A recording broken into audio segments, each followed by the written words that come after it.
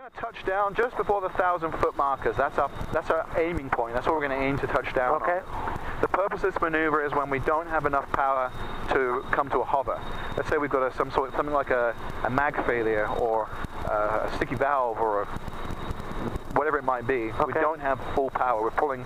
Let's say we were pulling a max continuous just to hold 50 knots or something like that, we'd be like, oh, we got a power problem. We can't yeah, yeah. bring it to a hover.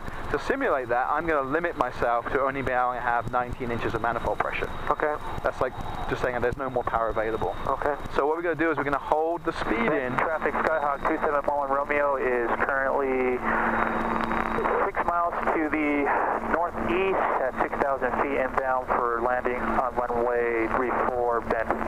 Okay, so we're going to hold the speed in about 30 knots for as long as we can, because once we get below 30, that's the time that we're going to really need the power, and by that point, hopefully we're closer to ground okay. and we make like a run on, okay? Clear left, ahead, and right. Okay, when we come round to start running landing... Hotel 1 to the northeast, outbound to the east at 4,200 Bend. We normally want to be about 360 knots as we come around, so we've got about 100 feet to lose. Bend traffic heading up to 40 kilo. Right base turning final, 3-4. Be slight delay on the runway, Bend. So 60 knots and about 300 feet AGL, which would be 3008, is a good start point because we're going to start this nice shallow run in. And remember, we're not aiming for the numbers, we're aiming for the thousand foot mark. Okay. Keep that in mind. And really watch what happens with the airspeed and when I come up on the collective. So follow along a little bit on the uh, cyclic and okay. uh, collective. So just keep this descent coming down. This is shallower than normal, right? This isn't how we normally make our approaches, yeah. right? Yeah. So that's part of it, is we're going to have a shallower than normal approach. We'll keep the speed in. As we come over the threshold, we want it to feel a little bit like an air taxi. So it should feel about 40 knots and 40 feet. Now that really does depend partly on the uh, wind speed as well, but okay. it's a kind of good number to aim for. Make sure we ID the windsock. Yeah, windsock's showing still out the north. We're about 50 knots, so we want to ease back on the power on the uh, cyclic a little bit. Skyhawk 27 Mullen Romeo.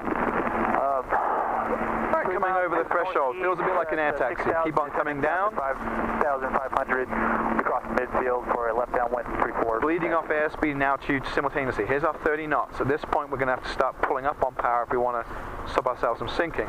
As I do that, I'm going to keep pushing forward with the cyclic because I don't want to bleed off all my airspeed yet. Okay, I want to keep some performance. You can feel the vibrations of transverse yep. flow effect. Keeping it, okay, we're coming up to 18, 19. Look down the runway and push forward because we want to make sure we land on the skids level. Okay. And then smoothly lower the collective to our spot. All right, okay. and then we're using the cyclic to control drift, and we're using the pedals to control the yaw. Uh, the yaw. Okay. Make sure we don't. Right south, top of the green, three in the green, fuel good, and coffee's good.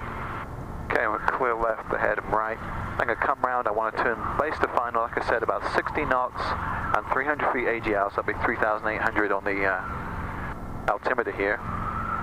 Still looking good on final. Bend traffic, helicopter 7 Tango Hotel, right base to final, runway 34, slight delay on the runway. I'm saying slight delay because we're going to be skidding along for a little bit and I want to make sure, it's just a habit you should have if you're doing this maneuver, that you inform other traffic you're going to be a little bit longer on the uh, on the runway. Once we come around to final, do our usual checks, the lights out, top of the green, three in the green, fuel good. Carby, could you identify and pull full carby, please? Identify carby, pull full carby. Okay. I'm going to limit myself to about 18 inches of manifold pressure, just to simulate a power limited situation. Maybe we've got a problem with the engine.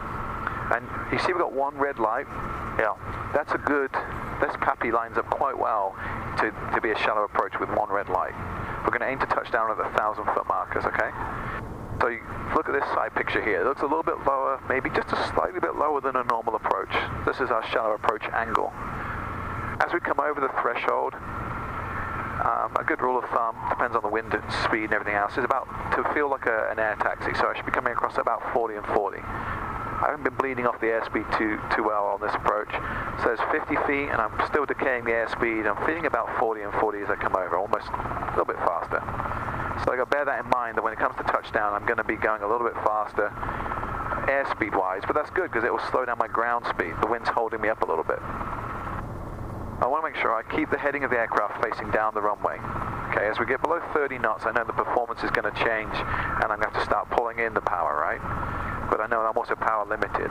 So I want to keep looking down the runway, running out of airspeed, Trying to come up to my limit, look down the runway and make sure I land on the, the skids flat, don't land on the back. So get a little bit of a bounce there. Lower collective, uh, left cyclic to stop any drift. And the collective lowering is just like that. We don't want to dump it down because that will flick us over maybe if we're on a rough terrain. So we're just lowering the collective smoothly once you make contact. Pedals holding our direction, cyclic stopping us from drifting.